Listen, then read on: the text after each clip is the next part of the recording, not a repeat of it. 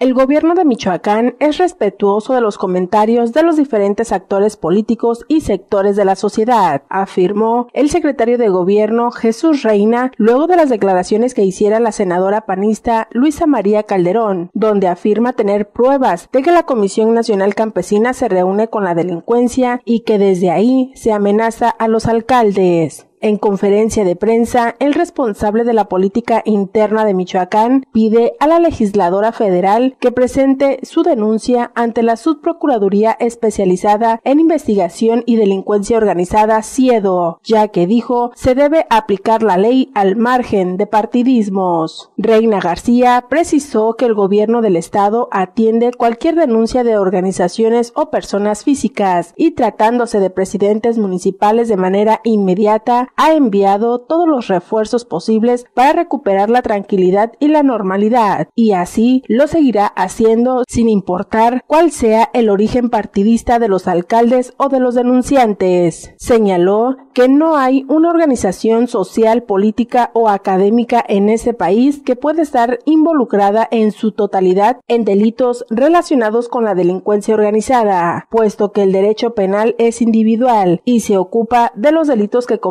las personas físicas. Jesús Reina dijo que aunque la delincuencia organizada es un tema de competencia federal, el gobierno del estado ha reiterado en todo momento que en su combate se requiere la coordinación de todos los órdenes de gobierno y poderes de la Unión, pero sobre todo dejar de lado intereses partidistas, pues no es con declaraciones estruendosas como se combate a la criminalidad, finalizó. Rausanelli para Noticieros Nuestra Visión.